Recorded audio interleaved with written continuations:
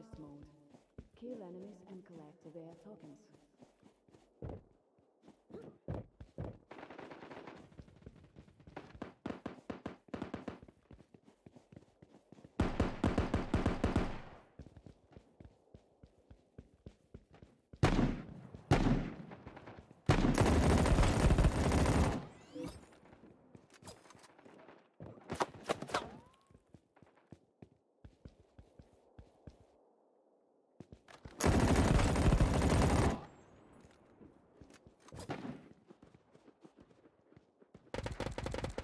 We got ahead.